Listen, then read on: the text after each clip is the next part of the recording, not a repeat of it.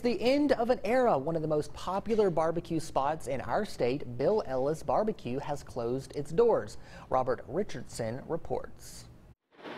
No BBQ means a new trio of letters here. OMG, oh my God. It was really hard to believe, you know, just a place that everybody in Wilson come to eat. It was very good. Food was good, service was good. I had no idea they were going to close. It turns out much of the staff had no idea either. Dozens of employees learned during a Wednesday night meeting that the restaurant was closing its doors permanently. That's going to be sad on their behalf.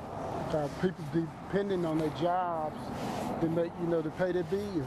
Several people told me they thought talk of a closure was a rumor. I see my own eye. Gotcha. You wanted to see it with your own eye? Mm-hmm. Many more hadn't heard a thing, and without any notices on the doors, the hungry tummies got the bad news from me. And I can't believe it.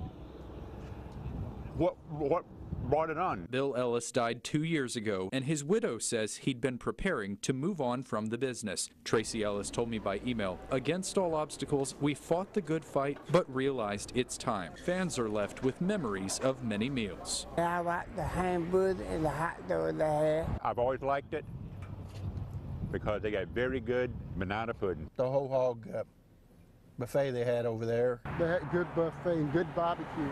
In Wilson, Robert Richardson, CBS 17 News. Sad news out in Wilson for sure.